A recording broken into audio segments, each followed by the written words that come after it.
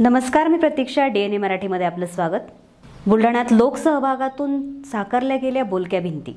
बुलढाणा जिल्ह्यातील मासाहेब जिजाऊंचे माहेरघर म्हणून ओळख असलेल्या सिंदखेड राजा तालुक्यात ताडशिवणी नावाचं हे छोटंसं गाव.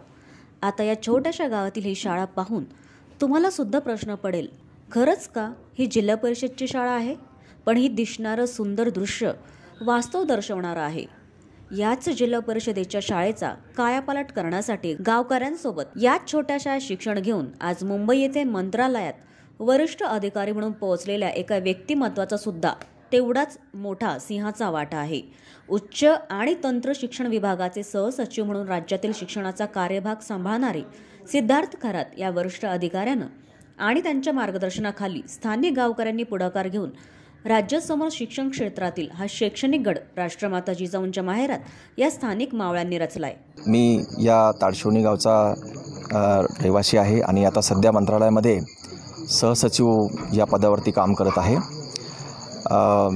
हा जो उपक्रम आहे हा बोलक्या भिंतीचा आणि एक दिवा ज्ञानाचा हा जो उपक्रम आहे तो आमच्या ताडशिवणीच्या सगळ्या युवा वर्गांनी पुढे येऊन सुरुवात केलेला उपक्रम आहे. एखाद्या समाजाची एखाद्या गावाची किंवा एकूणच आपल्या भागाची जर प्रगती करायची असेल तर त्या ठिकाणचा जो युवा आहे त्या तो युवा कल्पक असला पाहिजे त्याच्याकडे पेशन्स असला पाहिजे रचनात्मक काम करण्याची एक प्रकारची दृष्टी असली पाहिजे असा जर युवा असेल तर त्या देशाचा त्या गावाचा त्या भागाचा सगळ्याच बाबतीमध्ये विकास झाल्याशिवाय राहणार नाही हे आजच्या घटनेवरनं दिसून येतं. जो कोरोना महामारी आली त्या दरम्यानच्या काळामध्ये सगळा देश आणि सगळा समाज घरामध्ये बंदिस्त होता.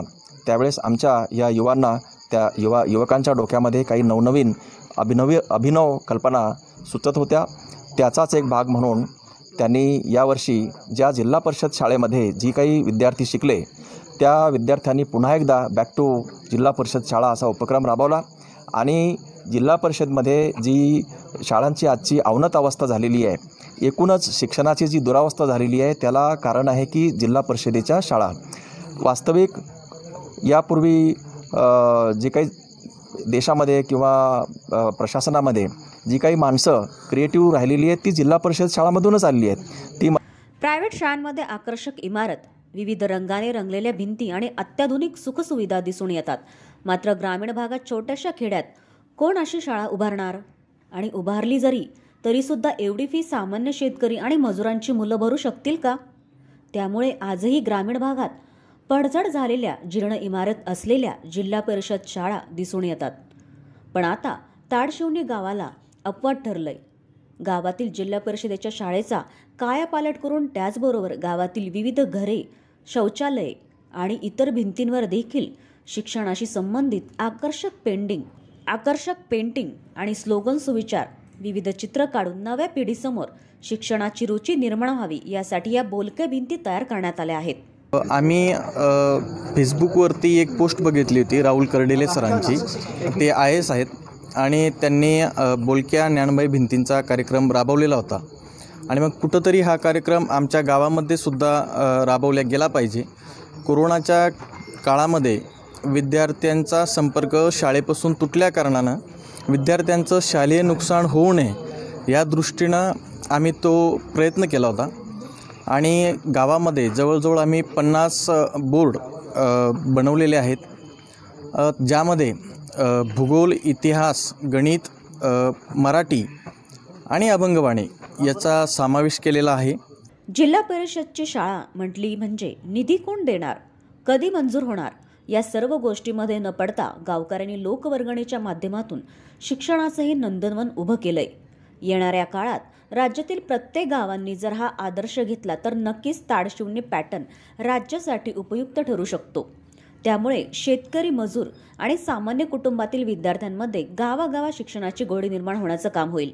ओसाड आणि मृत पडलेल्या जिल्हा परिषदेच्या शाळांमधून पुन्हा एकदा नवीन राष्ट्र निर्माण करणारे मंत्रालयातील सिद्धार्थ खरात यांच्यासारखे वरिष्ठ अधिकाऱ्यांसारखी उच्च शिक्षित अशी युवा साक्षर पिढी या बोलके भिंती बघून उदयास येत राहतील. ग्रामीण भागामध्ये सामाजिक आणि शैक्षणिक क्षेत्रामध्ये काम करतो.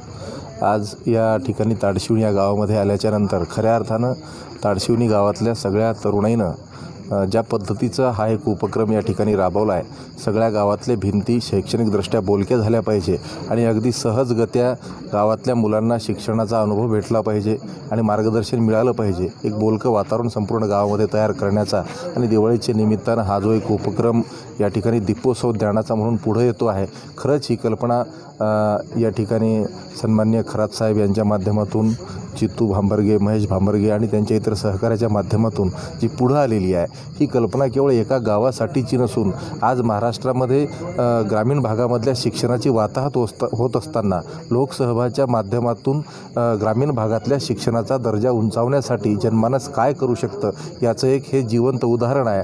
आणि ही चळवळ पुढच्या काळामध्ये एका गावासाठी न ठरता हा ताडशिवणी पॅटर्न राज्यभरामध्ये विशेषतः ग्रामीण भागामध्ये राबविला जावा आणि शासकीय पातळीवरती सुद्धा या माध्यमातून प्रयत्न व्हावेत अशा प्रकारची सुद्धा या ठिकाणी इच्छा व्यक्त करतो.